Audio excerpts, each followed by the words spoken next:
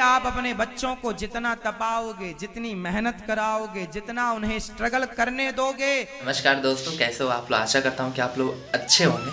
तो आज आज मैं आपको अनिरुद्धाचार्य बाबा जी का कथा सुनाने वाला हूँ, क्योंकि कई सारे लोग जो है कमेंट कर रहे थे कि अनुरुद्धाचार्य बाबा जी का वीडियो लाइए। तो आज मैं आपको वही दिखाने वाला हूँ वही सुनाने वाला हूँ और आप इस कथा को पूरे ध्यान से सुनिएगा। ये कथा है हमारे लाइफ से रिलेटेड है। लोग मतलब टेंशन के वजह से लाइफ ख़त्म करने के बारे में सोचते हैं यानी कि आ, मतलब मरने के बारे में सोचते हैं। तो उसके बारे में बाबा क्या कहते हैं क्या कुछ कहते हैं क्या कुछ नहीं कहते तो आज के वीडियो में आपको दिखाने वाला हूँ। तो चलिए वीडियो को शुरू किसी छोटे बच्चे को समझदार बनाना चाहे नहीं बनेगा समय जब तक नहीं आएगा। जितना समय आप देंगे अपने आप को जितना संसार देखेंगे जितना उतार चढ़ाव देखेंगे उतनी समझदारी आएगी। तो समझदारी समय के साथ आती है। आप कितने लोग सहमत हैं इस बात से कि समझदारी समय के साथ आती है? समय के पहले यदि हाँ समय के पहले समझदारी आ जाएगी। यदि आपने बचपन से स्ट्रगल किया है तो। यदि बचपन से आपने वो समय देखा है तो आप औरों की अपेक्षा समय के पहले मैच्योर हो जाएँगे। आज लड़के 25 साल 30 साल में जो मैच्योर होते हैं, आप 18 साल में मैच्योर हो सकते हैं, लेकिन 18 साल के पहले 15 साल से आपके जीवन में जब भरपूर स्ट्रगल हो तब। इसलिए जीवन में स्ट्रगल होना चाहिए। जीवन में कष्ट होना चाहिए, क्योंकि आपको यूनिवर्सिटियाँ बड़ा ना बनाएँगी। आपके जीवन का संघर्ष आपको बड़ा बनाता है। चुनौतियाँ, मुसीबतें आपको बड़ा बनाती हैं। हाँ या ना? इसलिए चुनौतियों से हारना नहीं है, भागना नहीं है, डट आत्महत्या कर लेना किसी समस्या का समाधान नहीं है। कुछ लोग कहते हैं, बड़े तंग आ गए जीवन से, मर जाते तो मर जाओ। क्या फ़ायदा होगा तुम्हारा? फ़ायदा बताओ मुझे। क्या लाभ है तुम्हारा? आत्महत्या कर लेना। अरे चुनौतियाँ से डर के भागते क्यों हो? डटो, सामना करो। आत्महत्या करना अपराध डटो। जी, छाती फुला के खड़े रहो। कष्ट आएगा।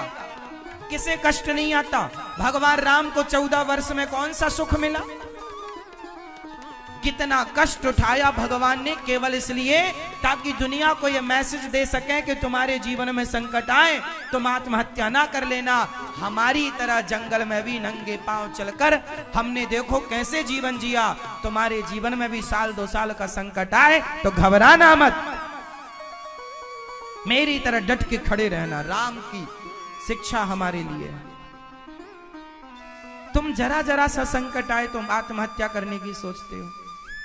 मरने की सोचते हो। रोने लग जाते हो। महाराज जी, हम बड़े दुखी हैं, बड़े परेशान। बताओ, क्या सुदामा से ज़्यादा दुखी आप में से कोई है? नहीं? सुदामा तो कभी ना रोए। भगो, हे भगवान, मैं बड़ा दुखी हूँ। नहीं? दुख सुख तो है। कहा जाएगा दुख सुख? जैसे रात आएगी, दिन आएगा।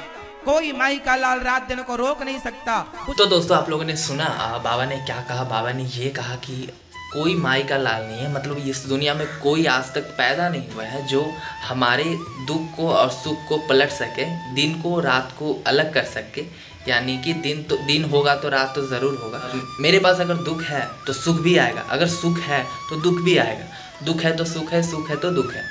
चलिए आगे सुनते हैं कि बाबा क्या कहते हैं। उसी तरह तुम्हारे जीवन से कोई माई का लाल सुख और दुख को रोक नहीं सकता। आएगा हाँ मज़बूत बनाओ अपने आप को हर स्थिति से गुजरने के रेडी रखो। तैयारियाँ रखो। तुम तैयारियाँ नहीं करते, इसलिए परेशान हो जाते अपने बच्चों को ज़्यादा जूजू ना बनाया करो। ज़्यादा सुखी सुखी सुखी सुखी नहीं। बच्चों के जीवन में जितना उन्हें कष्ट मिलेगा। सिंपल है। मेरी माँ सोने को जितना तपाओगे, उतना चमकेगा। सोने को जितना तपाओगे, उतना चमकेगा। इसलिए आप अपने बच्चों को जितना तपाओगे, जितनी मेहनत कराओगे, जितना उन्हें स्ट्रगल करने दोगे, देखते रहो बच्चों के स्ट्रगल को। तुम्हारे पास करोड़ों की संपदा है, फिर भी ना उन्हें कमाने दो दस रुपए। जाओ बाज़ार में भेजो, जा, सौ रुपए कमा के ला। पता चलेगा कि सौ रुपए की कीमत क्या है जब वो पसीना गिरा के कमाएगा। ऐसे तो बाप करोड़ों रुपए दे सकता है, लेकिन उस करोड़ों की वैल्यू नहीं होगी उसे। जीवन में स्ट्रगल ज़रूरी है। मैं बचपन में भीख माँगता था। लोगों के घर मांगने जाया करता था। मुझे पता है कि एक मुट्ठी चावल की कीमत क्या होती है।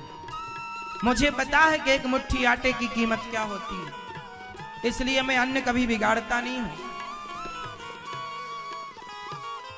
मुझे पता है, मैंने अपने जीवन में सबसे पहले पहली कमाई मैंने जब की तो मेरा अंग अंग दुखने लगा, इतनी मेहनत की मैंने। और मेहनत करने के बाद मुझे तीन हज़ार रुपए मिले थे सबसे पहले।